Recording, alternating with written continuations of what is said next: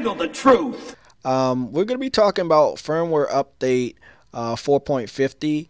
Uh, some of the features that I'm very impressed for, the features I was hyped about, um, and one feature that I did not believe in. Um, so let's get started.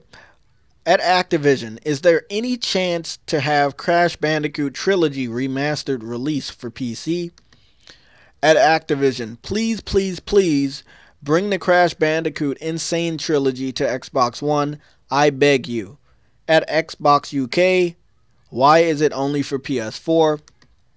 At Activision, can we expect a Nintendo Switch port of the Crash Bandicoot remaster in the future? Hashtag Crash Bandicoot.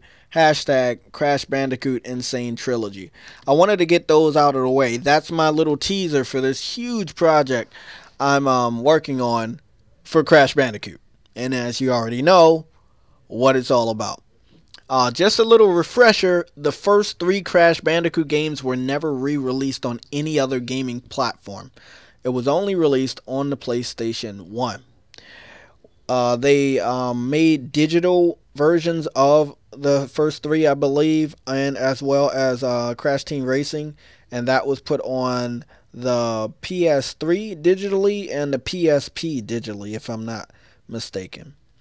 So, like I said, I'm a part of the beta. I want to show you the proof that I'm a part of the beta. Here's one screenshot. Here's another. Here's another. Um, I'm a part of the beta. I know what I'm talking about. I am enjoying the beta, but this was one of the features while I was at work was breaking news, and I did not believe it was true.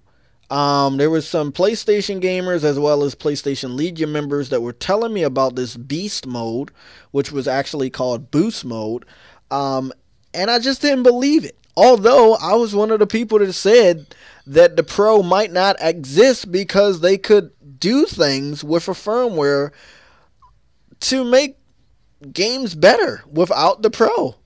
Lo and behold, the PS4 Pro actually exists. I have it, picked it up day one, using it. Boost mode works better with the PS4 Pro, and boost mode actually exists.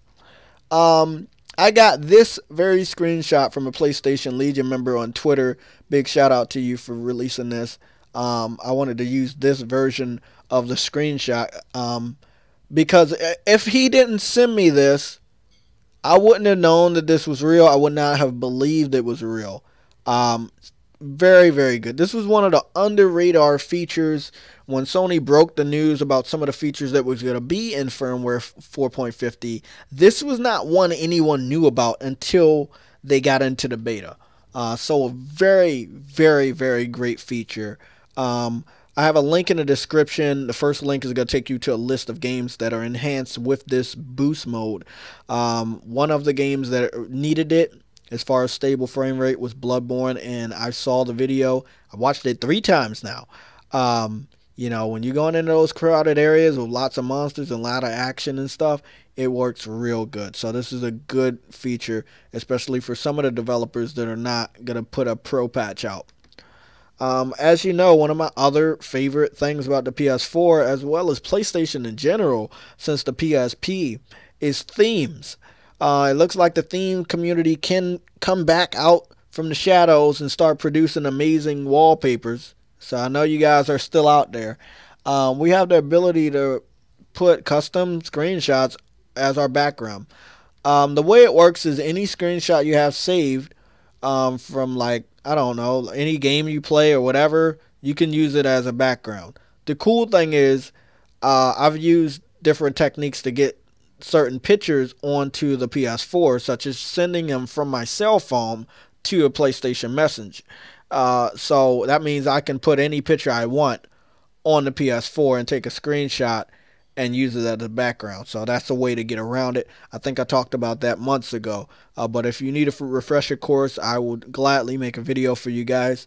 Um, but this is how it looks. It actually does show you a preview of the said image. Um, you know how it would look, and it's pretty damn awesome. Uh, so these are just screenshots. I'm not like you know doing like captured from it. So this is just it with my game set up and everything like that. So it looks good. It's just nothing but the the Keyblade Ward screenshot I took from Kingdom Hearts, um, and it looked badass. And I had to have this as my background, so I, I wanted to use this one as my first one. I'm still gathering different good screenshots. Uh, there's uh, there's a community page for it um, for screenshots. I believe uh, ran by Chris Owen. Um, he's he's a PlayStation guy. He's real real good with that stuff. This is another hidden feature right here. Boost mode was a hidden feature. Now it's not. This was a hidden feature. People are not talking about it as much.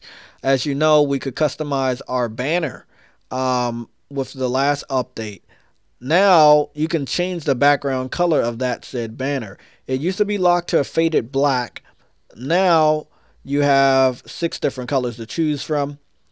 Um, and it's it's really really cool that they allow this. Um, so you know, I think it's a very good update. I'm pretty sure there's like about four more features that they have not released to the public yet, and I'm hoping that 4.50 will be out in time for Horizon Zero Dawn.